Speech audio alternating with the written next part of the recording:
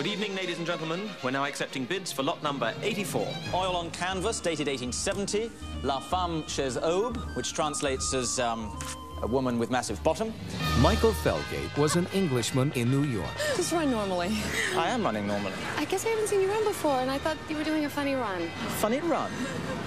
That's my run. He met a woman he loved and bought a ring to prove it. Who cares how much money what you pay?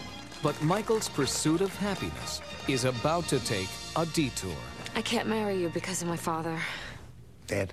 Dad, I don't want to marry your father. You I... will, Michael. Him and his friends. Uh, so you meet everyone? Vernie, Carmine, and this is Uncle Vito. Uh, Rent, Goodfellas, Casino, Godfather, one, two, three. It's a little favor, a tiny lie, and you're theirs. Mr. Graziosi has sent over one of his son's paintings for me to auction. This unusual painting is entitled Die, Piggy, Piggy, Die, Die.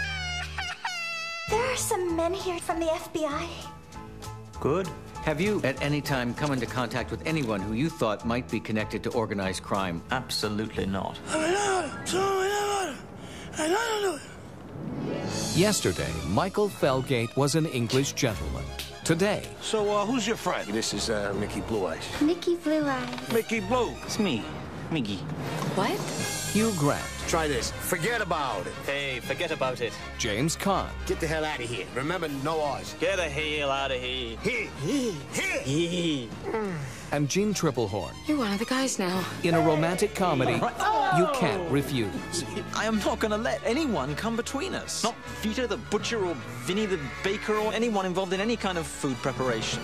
Mickey Blue Eyes. But the he, we got it under control. Forget about it. Why in the world are you talking like Shut that? up. I had enough of yous.